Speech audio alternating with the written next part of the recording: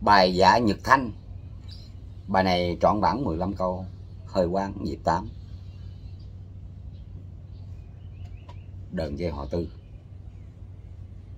Bài này Hoàng Khe không biết sáng tác vào năm nào. Quên mất tiêu trong mấy cuốn sách nó còn. Nhưng mà Hoàng Khe không có điều tra.